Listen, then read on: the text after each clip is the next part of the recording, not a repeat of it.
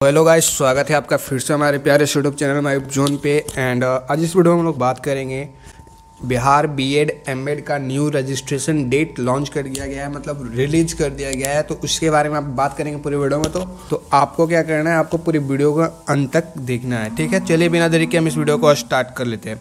दोस्तों आज नया डेट अभी अभी जारी किया गया है और मैं तो देर बाद वीडियो बना रहा हूँ। सो आप लोग यहाँ पर देख लीजिए इसको मैं लैंडस्केप मोड में कर लेता हूँ। सो सो आप लोग यहाँ पर देख सकते हो पाटलिपुत्र यूनिवर्सिटी की तरफ़ से। अभी अभी नोटिस जारी किया गया है। यहाँ पर मैं आपको पढ़ के सुना देता हूँ। देखिए, यहाँ पर अभी देख लीजिए डेट वगैरह आप लोग देख लीजिए, ग्यारह ग्यारह, दो हज़ार बीस है, ठीक है? उसके बाद यहाँ पर लिखा हुआ है, विश्वविद्यालय के सभी शिक्षा महाविद्यालयों के प्रधानाचार्य के सूचित किया जाता है कि सेशन 2019 से 21 वालों के लिए है। बीएड एंड एमएड के छात्रों को पंजीयन या रजिस्ट्रेशन एवं परीक्षा पत्र फिल करने की तिथि निम्न है। मतलब एग्जामिनेशन फॉर्म फिल करने की तिथि एंड रजिस्ट्रेशन का डेट आपको जारी कर दिया गया है। वो नीचे में है, दिखा देता हूँ मैं आपको आपको क्लियर हो जाएगा। यहाँ पर देखिए डेट आपका ये है कि यहाँ पर देखिए, लिखा हुआ है, पंजीयन की तिथि, रजिस्ट्रेशन की तिथि आपको दिया गया बारह ग्यारह दो हज़ार बीस से लेकर चौबीस ग्यारह दो हज़ार बीस। आपके पास इतना टाइम है रजिस्ट्रेशन करवाने को तो आप लोग नोट डाउन कर लो या इसको स्क्रीनशॉट देकर रख लो।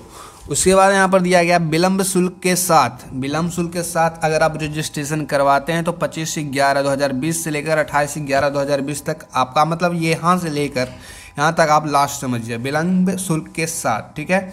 और परीक्षा पत्र फिल करने की तिथि जो है आपका एक बारह दो हज़ार बीस से लेकर पाँच बारह दो हज़ार बीस तक है। और वही विलम्ब के साथ अगर आप शुल्क के मतलब किसी कारण आपका परीक्षा पत्र नहीं भरा है तो आपको और मौका मिलेगा। छः से लेकर नौ तक आपको टाइम है।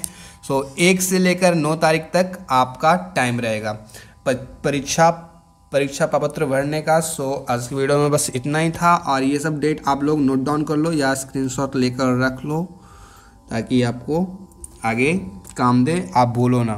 तो आज की वीडियो में बस इतना ही। आशा करता हूँ आपको वीडियो अच्छा लगा होगा। और वीडियो अगर अच्छा लगा है तो इसको शेयर कर दो। सभी बीएड और एमएड वालों के लिए काफ़ी हेल्पफुल है।